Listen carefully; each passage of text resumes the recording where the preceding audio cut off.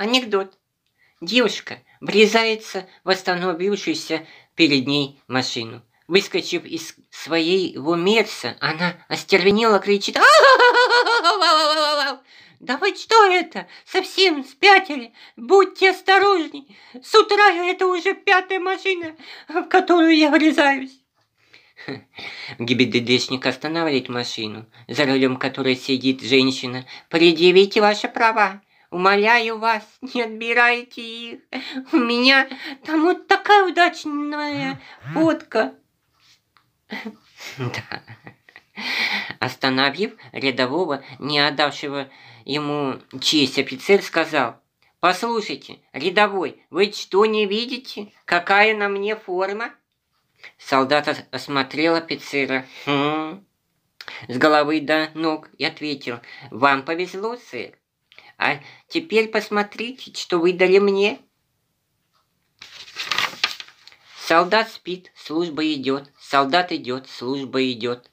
Но обидно, солдат бежит, а служба идет. Но самое обидное, у солдата стоит, а служба идет. Новый русский в книжном магазине просит продавца, дайте мне вон ту книгу про дистрофиков. Продавец удивлен. Какую книгу? Ну эту, унесенную ветром. Стоит мужик на МКАДе и голосует. Вдруг останавливается Мерс. Из него выходит новый русский, обходит машину туды-сюды, осматривает ее, рассматривая основательно. Подзывает мужика, бьет его головой о капот, говорит, ты, сука, где шашечка? Шашечки видел.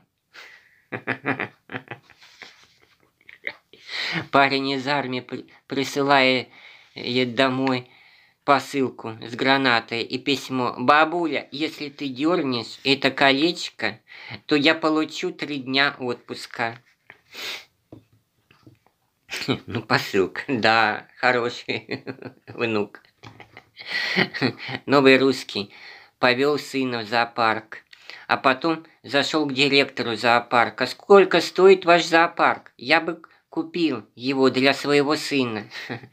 У меня идея получше. Сколько стоит ваш сын? Я бы купил его для своего зоопарка. Хороший муж, как сундук, старый и с деньгами. Мало его на найти, надо еще и закопать. Всем пока. До